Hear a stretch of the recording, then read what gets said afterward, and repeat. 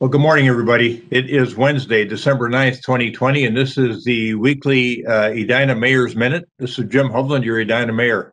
A couple of things to talk about today. Uh, and the first thing we want to talk about is that um, we know life's going on. You know, everybody's trying to be careful uh, with social distancing and masking and keeping your hands clean. Uh, and you may be working from home, uh, and we know your options for entertainment are limited, probably a lot of uh, home entertainment but you still have to leave your house from time to time to get groceries or run other errands. Uh, we do make a, I think, a good attempt, at least what I've seen around Edina, of practicing social distancing.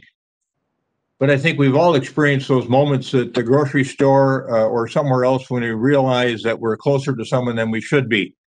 Uh, we just want to let everybody know that there's an app for your cell phone that can help identify if you've been within six feet of someone with COVID 19 for at least 15 minutes. The COVID Aware MN app was developed to notify users of exposure so they can take preventative public health measures like getting tested or quarantining. More than a dozen states have been using this technology, originally developed through a partnership between Google and Apple, to improve improve that uh, contact tracing that we all hear about. Uh, let's take a look at the video that's been produced by the Minnesota Department of Health explaining the app and uh, what a wonderful asset this is in the world of uh, coronavirus. What if you test positive for COVID 19? You might tell your friends, coworkers, family, but what about the people you've been near that you don't know? COVID Aware MN is an app that notifies you if you've been near someone who tested positive for COVID 19. If you test positive, you can use the app to anonymously notify anyone you've been near. COVID Aware MN is free through the App Store and Google Play. It doesn't track your location or share your identity. The more people who download the app, the better it works. Let's be COVID aware, Minnesota. Download the app today.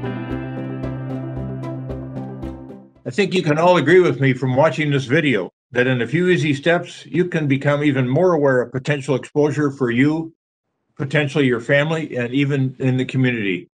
With this community spread going on, I think we all need to be extra vigilant about what's going on and I was on a call, I, I can tell you earlier this week with the uh, head of uh, the Department of Employment and Economic Development, who's on the governor's team, who said we're heading into the worst of it. You know, we thought uh, we were in the worst of it in March and April, and we were all really vigilant, but it's really time to double down on the vigilance and do the best we can in making sure that we stay safe.